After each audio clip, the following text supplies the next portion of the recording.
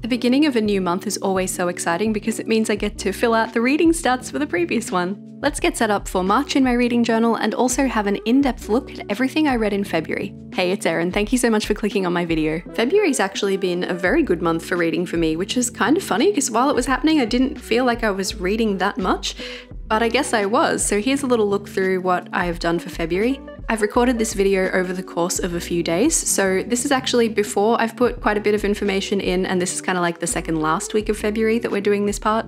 I have set up some review spreads for some of the books that I've finished, and I'm halfway through this one for All Our Shimmering Skies by Trent Dalton. But I actually want to start by going all the way back to the beginning of the book and filling out some of the yearly trackers at the start. I haven't put any information for any of my February reads on my overall book tracker yet, so we're going to jump in and do that. I've actually read everything that I put on my maybe next list, which is kind of insane. Apparently, taking the pressure off calling it TBR really works for me, so that's a nice feeling. Also, I had some of them already reserved through the library, so you know, when there's a queue and you have to wait for a book and it's finally your turn, you kind of want to make sure that you're prioritizing that. So I did that for a few of them. Like, I have to read this and return it so someone else can read it. It's been a pretty mixed bag, the February reads. They've been all over the place from some fantasy, some romantasy, some normal romance. I've had some like mystery and contemporary fiction in there as well. It's been a nice variety, I feel. It's, it's been fun to dip my toe in a lot of different genres, so that was something I've really enjoyed in February. I did also have one, maybe maybe we'll call it one and a half books that I chose not to finish for February, but only one of them was like, I definitely will not be finishing this book. The other one I started on audiobook and I wasn't enjoying the narrators, so I was like, I'm gonna read this on ebook, but I don't have it on ebook yet, so that will come later, I guess, or will be revealed in time. I also went to the Brisbane ACOTAR Starfall themed ball last weekend, and I thought it would be fun to show you a little bit of that too, so stick around for that towards the end of the video. My goal tracker here needs some updating. I have the numbers on the list over here, which makes it a really great reference. And I'm using colors that correspond to the theme for that monthly setup so that I can see which month was the, which numbers of books, if that makes sense. I'm using the 192 Tombow dual brush pen for this one because it is my very favorite green Tombow. It's that perfect intersection of like a soft sage green. It's got a touch of olive in it, so it works really well for plants, I guess.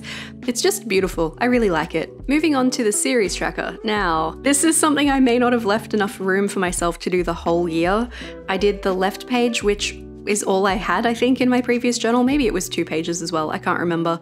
Those were all series that I'd already started, and I'd left the right page completely empty for any new series I started this year, and then I've accidentally pretty much filled it up just in the first two months. These are all series that I've started this year, and I've only read the first book of each of them, but they're all series that I'd like to continue, so I wanted to make sure there was a space for them. I like referring to Goodreads for this information because they list out all of the books with the number next to the title so you can kind of work out the correct order for everything. I'm wondering now if I should really try and focus on the series that I've started and try not to start anything new, but if I do decide to start new things and I just don't have any space left on this page, then I will probably just start a new series tracker later on in the book that I will refer to between the two of them, I guess. But this is really good information to have. Now I know for my next reading journal, I'll probably want four pages for this, so let's remember that for next time.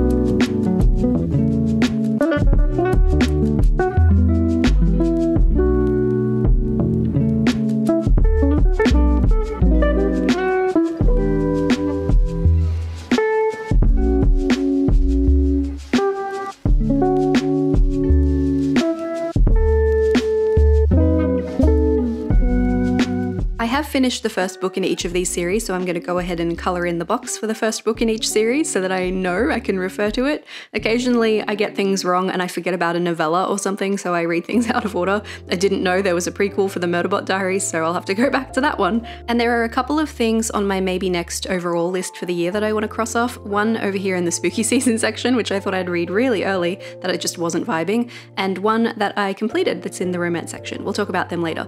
The Wake Up Call is the one I started on audiobook and wasn't enjoying the narrators, so I'm going to finish that one on ebook. Now I need to transfer some of this information over into my February tracker pages. We will come back to the reading stats page once the month is finished and fill that out properly, because at the time I'm doing this, the month is not finished, but it, it will be when you're watching this. I'll actually do a sneaky little update the morning that this video is going up, so it will all be very current by the time we get there. The books I have done review spreads for already, I've also done the CAWPILE ratings for those, and that gives me the star rating, so I'm just transferring that information from the review spreads over to my maybe next and my February reads pages.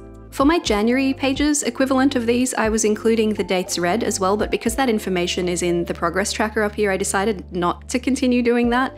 And you see that funny little mark the green pen has left up here? That's because of the stamp pad I used for all of my frames and my lettering throughout this setup. It's actually an oil-based stamp pad and the pens are water-based markers, so they don't play very nicely together, and I kinda hate it. It's made me think I never want to use that stamp pad ever again, so things to keep in mind. I'm also not totally stoked with the way I set up this progress calendar. I just didn't plan out where books were going to go very well, so sometimes there'll be something that needs to cross several weeks, and I'm putting it, for instance, here on the second row underneath the numbers, but then there isn't room to put it on that same row underneath here, so I've had to move it to the bottom, but it's the same color so you can see, and I'm writing the title on it as well, of course, so you can see that it's the same book. It just annoys me that it's not on the same row. We're gonna live with it, it's fine. Let's print some book covers. I've gone ahead and made myself a little list of the book covers that I would need to print and how many times, and I use my HP Sprocket mini printer for this. It's very handy, sometimes it's very glitchy, but it was pretty good for me this time around. In January it was we were not having a good time. But I've pleased the sprocket gods this time, I guess, so that's lucky. If you want to see exactly how I do this, I have a short about it that I'll link in the description or up in the top right corner here so you can see how I print my book covers with the sprocket in case you have one and you want to do the same thing. You can also just print them on sticker paper or on normal paper and stick it into your journal, that's totally fine too. Or you can not have book covers. I like how they look, but they are a lot of fussing around, so if you want a very no nonsense reading journal, you could just not have book covers in it and you would save yourself a lot of time. I would also save myself a lot of time if I used my ink pad again, but because of how it messed with my markers on the other side of the page, I'm not doing it, so I'm just going back to using a pen to colour in my stamp. That works for me, I have no problem with it. Now we're going to transfer some more star ratings into these spaces now that the book covers are there for me to do that. I actually realised watching this back that I've put the wrong star rating for The Serpent and the Wings of Night. Here I've only done three and a half stars, it should have been four and a half, so don't worry, we will fix that later. I'm very sorry to The Serpent and the Wings of Night, you deserve better. I'm also moving over my CAWPILE ratings so that when it comes time to work out my standout, my number one book for the month of February, I can do that really easily. And that is the book that will make it into my book bracket to go into battle with the other books that I read in this first half of the year. If you saw last week's video, you'll know I've been looking for new and novel ways to make journaling engaging for me again. My reading journal's not actually a problem, I love using it, but I've been in a bit of a slump with my bullet journal, and I have this designated thoughts and feelings journal that I pretty much never touch. I know how beneficial journaling can be as a mindfulness practice, and I really want to find a way to incorporate it into my routine. So I took this class called Visual Journaling, Drawing Your Feelings with Jordan Sondler, and it was such a fresh and unexpected perspective on journaling for me. Jordan guides you through four exercises to get you started with prompts around what inspires you, what you hate, what you want, and what you fear, with no expectation or pressure on the outcome. It's just a task that lets you process these things while you doodle about them. It was so freeing. Drawing my feelings felt much faster than trying to find words for them, and somehow the idea of someone finding and reading my doodle diary rather than a log of all of my deepest, darkest thoughts in words is way less intimidating. I found this revelation class on Skillshare, the world's largest online learning community where creatives of all skill levels gather to discover, learn, and grow. Skillshare offer thousands of classes across every creative field imaginable. I've taken stacks of lettering and calligraphy and watercolor classes on Skillshare, but they also have classes on illustration and music, film, video, photography, graphic design, I never know where to start when I'm trying to jump into something new, but thankfully, Skillshare's learning paths are the solution to that problem. They're curated classes from a range of teachers, arranged in the perfect order so you can learn new skills and build on them and come away at the end with stacks of new knowledge and understanding. That makes them the perfect way to get from novice to pro, whatever you're learning, and you learn by doing it. So at the end of a learning path, you have a series of completed projects that you made throughout the classes, which can serve as the beginning of a body of work or just as a starting point that you can look back on and see your improvement. The Draw Your Feelings class I took is the first in a learning path called Reconnect to Yourself with Guided Journaling, and I'm already partway into the second class. I kind of considered myself a bit of an informed journaler already, but these classes are really inviting me to see journaling through a different lens and try things I've never even considered before in my journals. It's not too late to set a goal or make a resolution for the year, or to get back on track for a goal you might have let slip. Whether it's picking up a new hobby or rekindling an old one, starting a side hustle, or just taking better care of yourself, you can start learning and growing today. The first 500 people to use my link will get a one month free trial of Skillshare. Thanks to Skillshare for showing me there's always something new to learn and for sponsoring this video. Now let's get into some new review spreads, but first I had to make some more Pile stickers because I had used all the ones I made at the beginning of the year.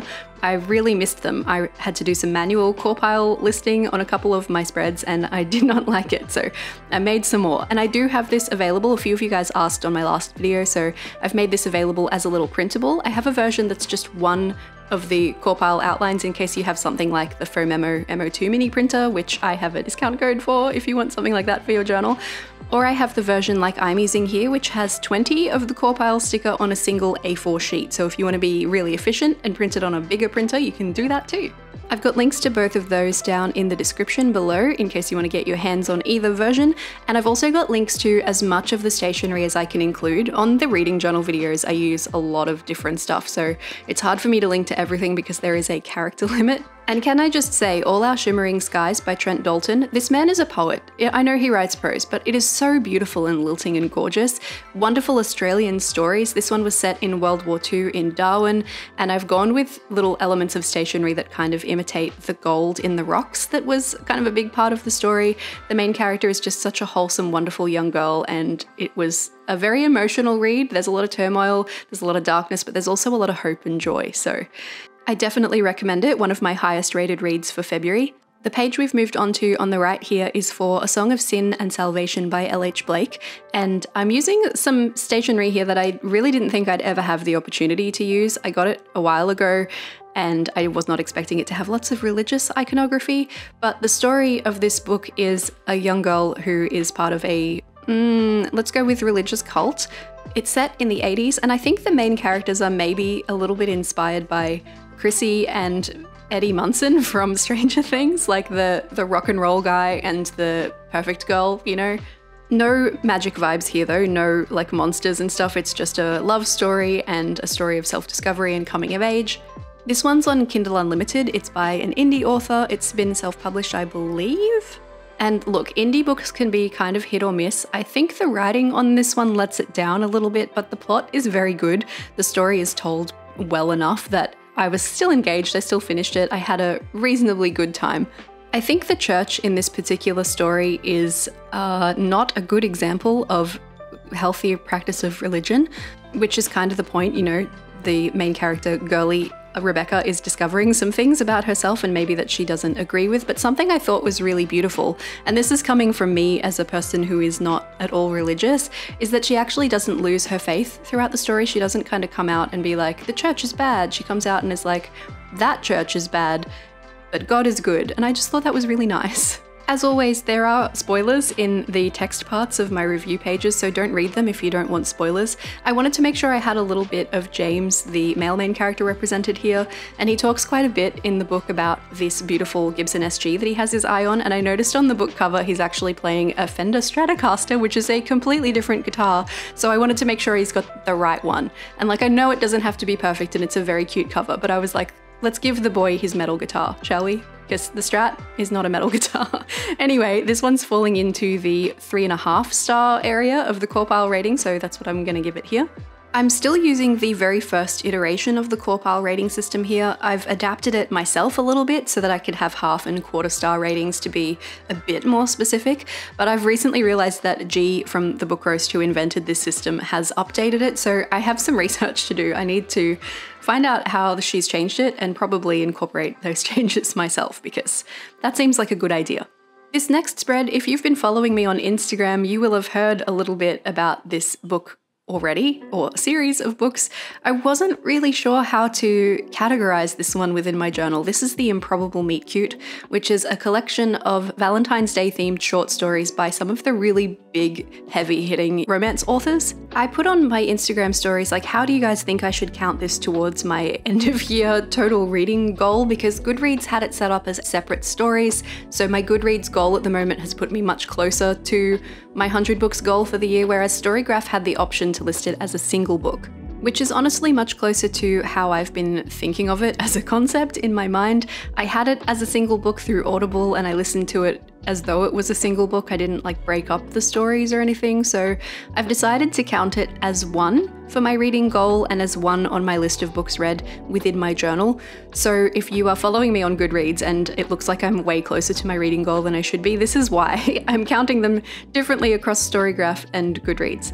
And you know, if we get to the end of the year and I'm not close to 100 books on Storygraph, but I am on Goodreads, then at least I can feel good about being closer to my goal, but it doesn't really matter. Alright, it doesn't matter, it's all semantics.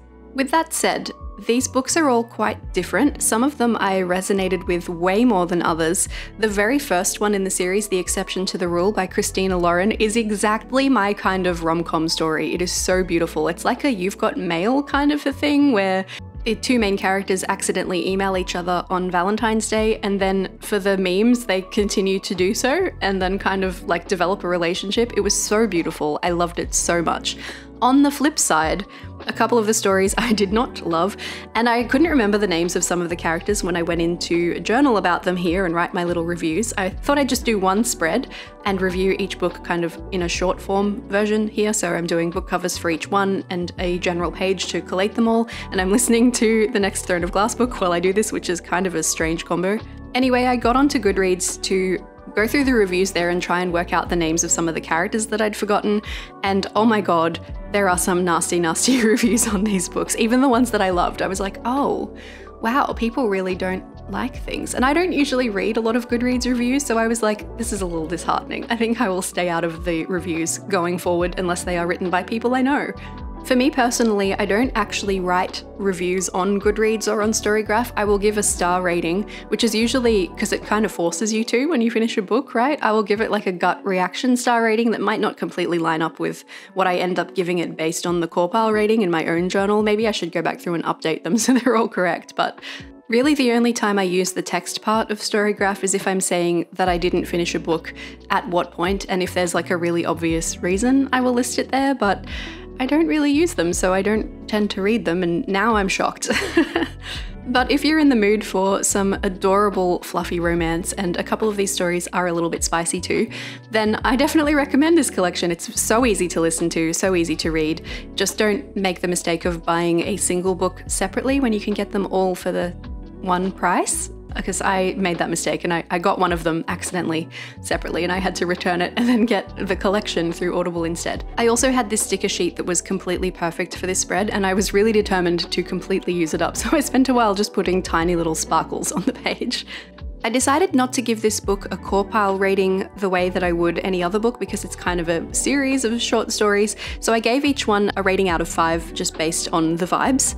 And I didn't check, to be honest, I didn't check my maths here, but they averaged out to around about a four star rating, so that's what I'm giving it. And I am assigning it a CAWPILE number, but I'm not doing that with the usual mathematical system because each of the books was written by a different author about different characters. It just doesn't really apply in this case. So I'm referring to the four star range instead for the CAWPILE rating and just assigning it where I think it should go. it's not very scientific, but that's what I'm doing for this one, so that's how it's gonna go.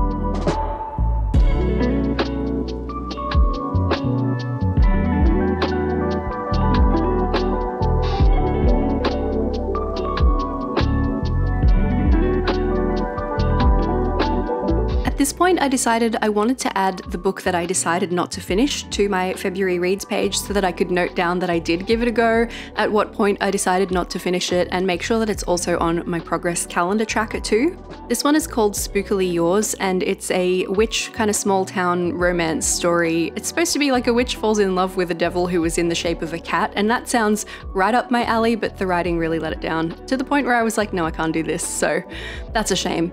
And to indicate that I decided not to finish it on the calendar, I've put a little X at the end of the line, which a few of you guys suggested on one of my previous videos where I wasn't sure what to do with DNF books, so thank you for that. We're moving on to another spread now for another book that I have completed. This one is The Things We Leave Unfinished by Rebecca Yarros, which is the same author as the Empyrean Fourth Wing Iron Flame series, and it's not really a secret that I really like those books. I know they're not for everyone, but they are for me.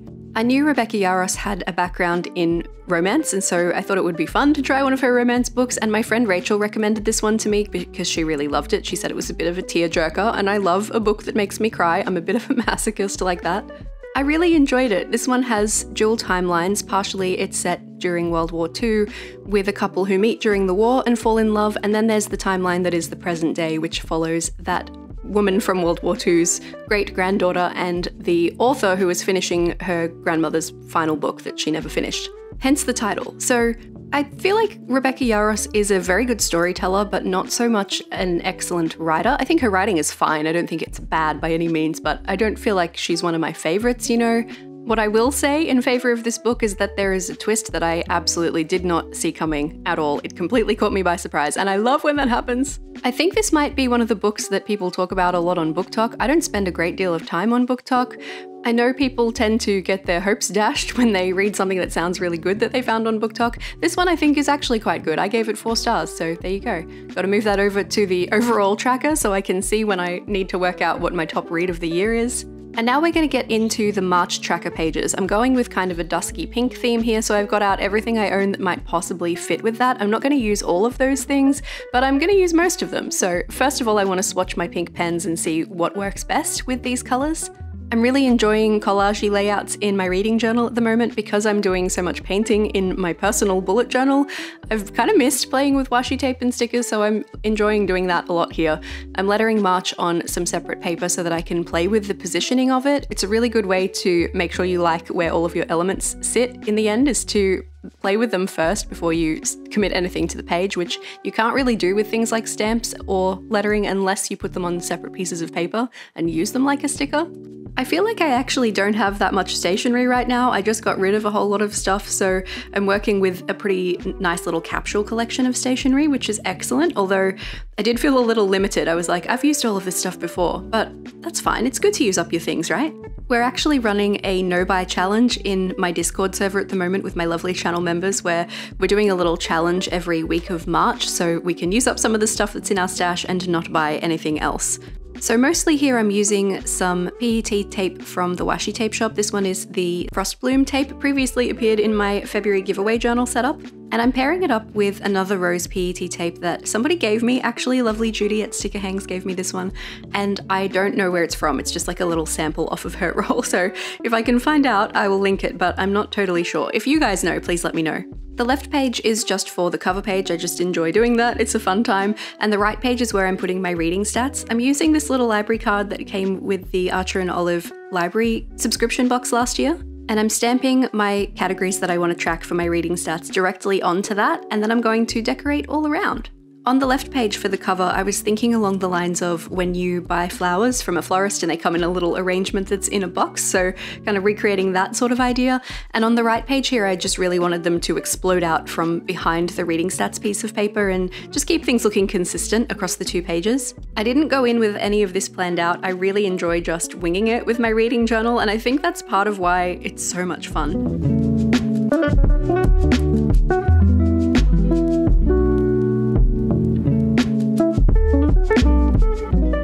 I'm so happy with this reading stats page. I love the way it's come together, but I felt like there was a little bit too much space underneath on the left page now, so just had to balance that out. We can turn the page and we'll move on to, this is where I put what I have up until now called my maybe next. I'm changing it to reading forecast, and this was not my idea. I got this from Ainsley on TikTok.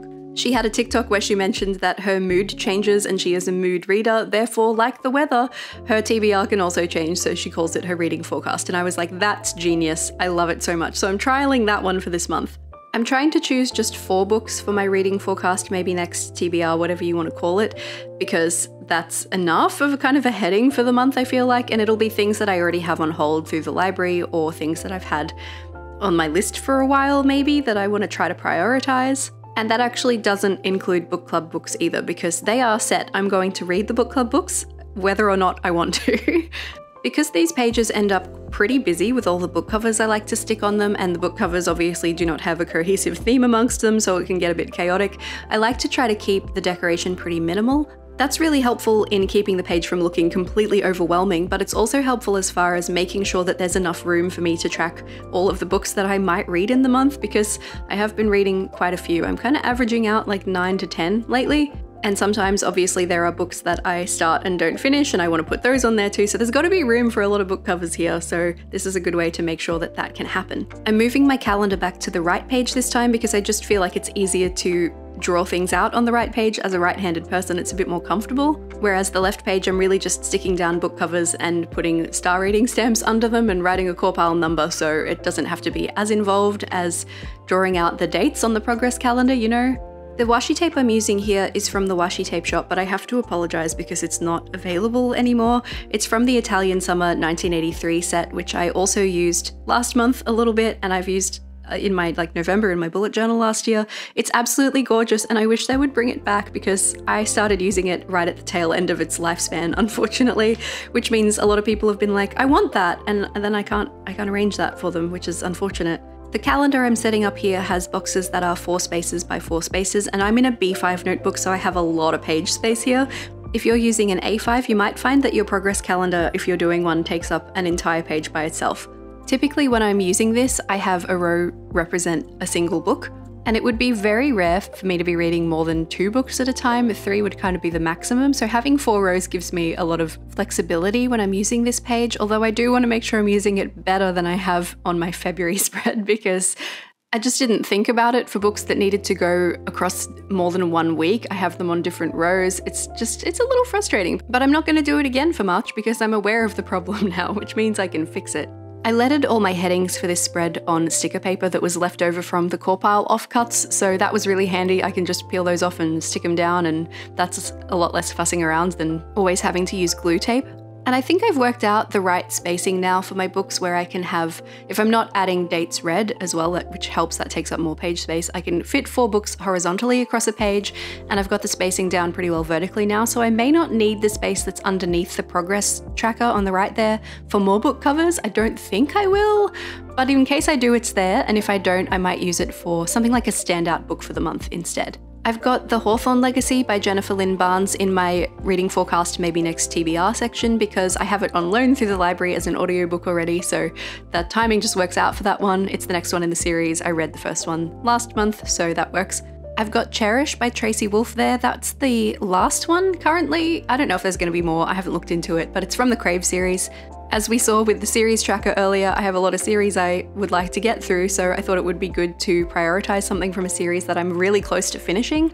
And that one's also available on audiobook through my library, so that's very helpful. Likewise, Artificial Condition by Martha Wells, which is the next one in the Murderbot Diary series. Again, another series that I've started this year, those ones are quite short, so they're really easy to knock over quickly, which is nice. Sometimes you need that, right? And I've also got Bride by Ali Hazelwood. Now, I really enjoy Ali Hazelwood books, even if some of them seem like the same book over again, but I'm excited to try this one because vampire romance, bit different. The Page Mages Book Club book for March is What the River Knows by Isabel Ibanez. So if you want to read that along with us and have a chat about it, you can jump into the description, hit the join link down there, and become a channel member on the Page Mages level. We're having our chat for the Page Mages book from February, which was What You Were Looking For is in the Library by Michiko Aoyama. We're having that tomorrow, so I'm really excited for that because it's going to be an interesting one. I feel like we all have very mixed feelings about the book, or very different opinions about the book, and that makes for the best discussions.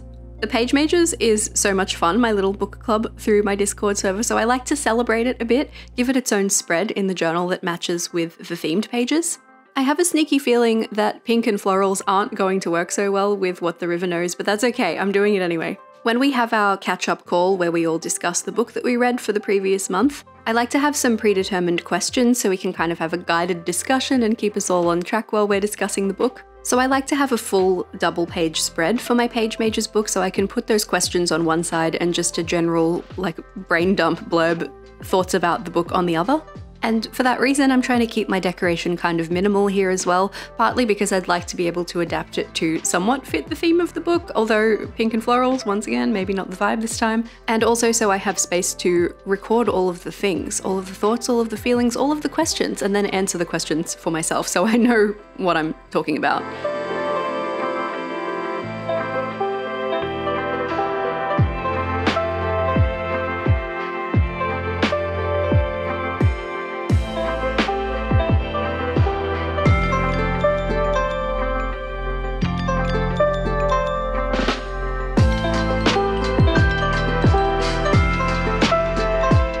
Since most of my book review pages are just a single page, I typically do the smaller version of the cover for those, but because I've got so much room on this spread, I like to do the big full size one. And we only printed one this time. Thank you to my sprocket for doing what it's supposed to do. A few of you guys suggested that I put any extra book covers that it prints that I don't actually have a place for in a bit of a extra print graveyard at the back of the journal, so I've started doing that. Thank you for that tip, I really like it.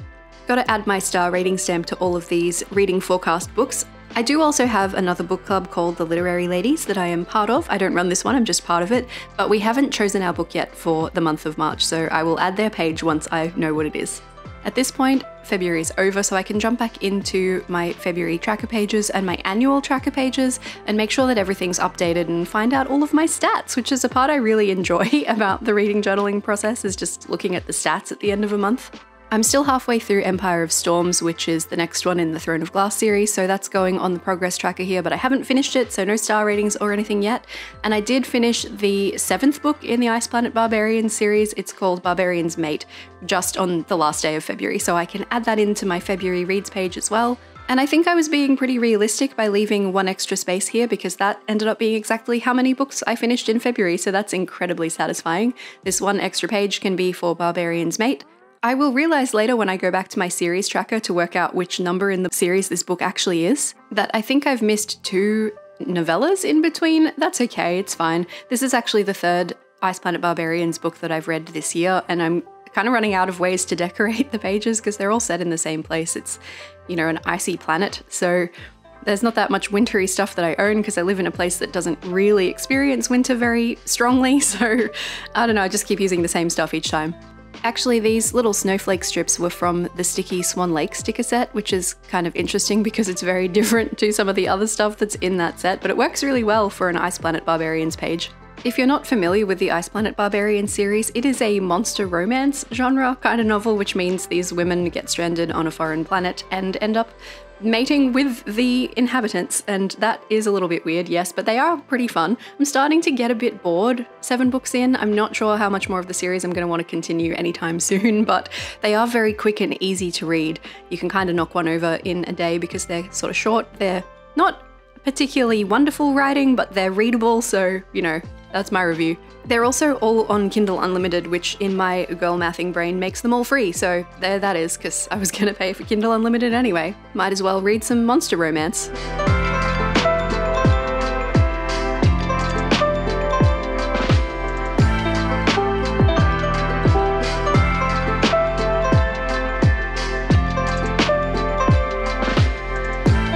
I've got a star rating and a CAWPILE rating for Barbarian's Mate. Let's flip back to the February reads page and update that information here so it's all together. And look at this, this is so nice. This is completed. And The Serpent and the Wings of Night was my number one read for the month of February, which means it goes in this little frame here for the standout book. And it's also going to have the honor of appearing in my book bracket, which is kind of funny because the book is about somebody going through some trials in a fantasy world and succeeding. But this one, unfortunately, its CAWPILE rating is a flat eight. The CAWPILE rating was 8.28 for Ruthless Vows. So Ruthless Vows is actually the one that's going to go through to the next round and not Serpent and the Wings of Night. Very sorry to Araya.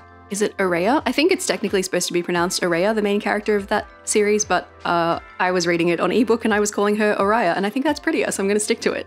I'm finding out here that the book prints that I make with my HP Sprocket when I divide it into the collage system, so there's four to a page, are actually bigger than the sizes I've allocated for my book bracket, so that's going to be interesting. We'll put, this is just convenient, it fits very nicely there. And now let's use my StoryGraph stats to fill out the rest of my stats page. I've completed 10 books this month.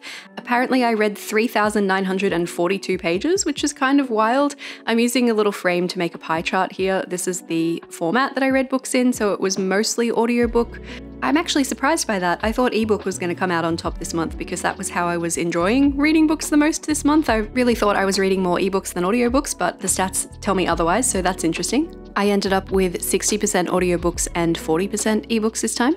I actually went back through my Storygraph stats and made sure I had the correct star ratings versus my CAWPILE ratings for everything. So my average rating for the month has ended up being 3.73, which seems kind of low, but I guess it's almost four stars, so it's not probably too far off.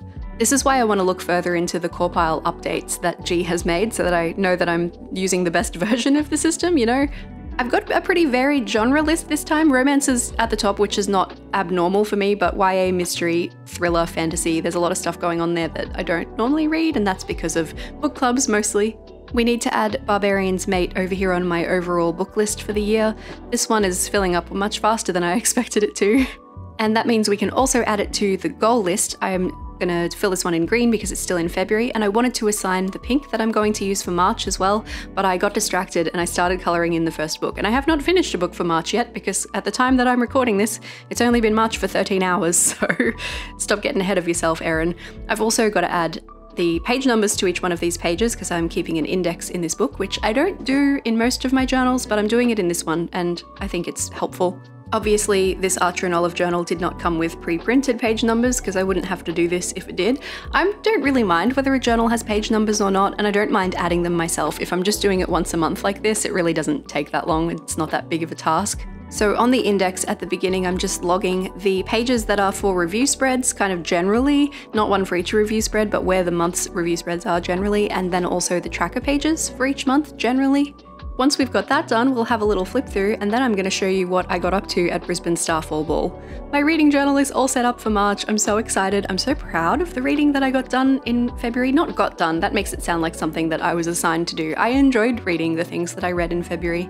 I must know what your favourite book was in February, the best book that you read. Doesn't have to have come out in February. And also, I wanted to remind you if you're based in Brisbane or the surrounding areas of Queensland, Australia, and you'd like to learn about reading journaling from me, I have two reading journaling workshops happening in March at Stash World in Fortitude Valley, and there's some information at a link in the description about those two in case you'd like to come along. Now for something completely different, the very last part of this video is just a little look at my experience with the Brisbane Starfall Ball that happened this past weekend. It was the first time anything like this has happened in Australia, so we're really lucky that it happened in Brisbane. Normally we aren't the first ones to get things, which for us to have this first is pretty exciting, and people travelled from all over the country and even from New Zealand for it. It wasn't just the balls, which there were two of, it was also a bunch of other events inspired by the books. I didn't take part in the stair challenge or the archery or a high tea, but I did join in this mind stilling class. Sorry about my terrible camera work, trying to be mindful of people's privacy. There was a big merch sale at the hotel that was the official hotel for the event, and this is not that hotel, this is Customs House where the ball was held. These are the stickers I brought home. They're going to make my reading journal level up a little bit. I've already read the ACOTAR books. I haven't read Crescent City yet, but I have a sticker ready now for when I do. And we had a Velaris themed paint and sip class, which I love paint and sip classes. This one was maybe a little too hard for some of us, myself included. The teacher really just ripped through this class really fast, and I don't feel like her instructions were very clear at all, but I don't mind how my painting came out. They gave us two brushes and they both kind of sucked, so I didn't end up adding the stars to the top of the mountain. Those three stars over Ramiel is kind of what really makes it distinctive as the mountain from ACOTAR. So I'm going to add those myself at home with markers or my own paints, I think. But the teacher's version looked incredible. I think it was based off a picture that maybe somebody has made online. I'm not sure. Here's mine in the end, um, sideways. Sorry about that. And these are the two examples that the teacher painted. I think we should have done the more simplified one, but we did the hard one on the right. The ridiculous thing is now I have to get this home on the bus. Oh, and it's starting to rain. Everyone's going to cover. And then there was the ball, and the vibes were amazing but it was also super packed and that was a little bit overwhelming for this little introvert. Thankfully, I had my partner Chris with me and he's so wonderful he even wore ears and a crown. he's the best fairies in a car. Hello, car fairy.